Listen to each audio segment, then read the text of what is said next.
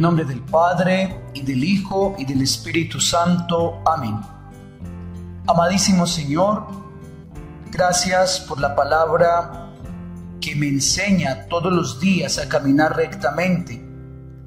En este segundo domingo del tiempo del Adviento, donde me pides que sea esa voz que debe ayudar a consolar a aquellos que más necesitan, hoy con mi familia, hoy en mi trabajo, hoy con mis amigos. Quiero, Señor, ser esa voz que dé palabras de consuelo y de paz.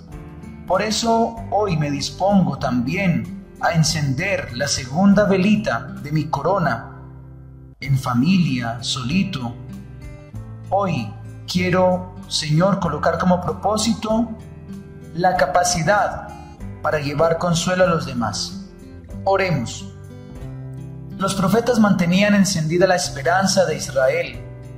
Nosotros, como un símbolo, encendemos estas dos velas. El viejo tronco está rebrotando, se estremece porque Dios se ha sembrado en nuestra carne.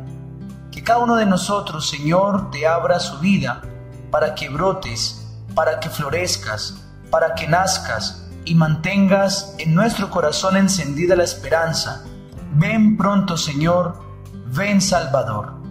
Mientras encendemos el cirio decimos, Padre nuestro, que estás en el cielo, santificado sea tu nombre. Venga a nosotros tu reino. Hágase tu voluntad en la tierra como en el cielo. Danos hoy nuestro pan de cada día.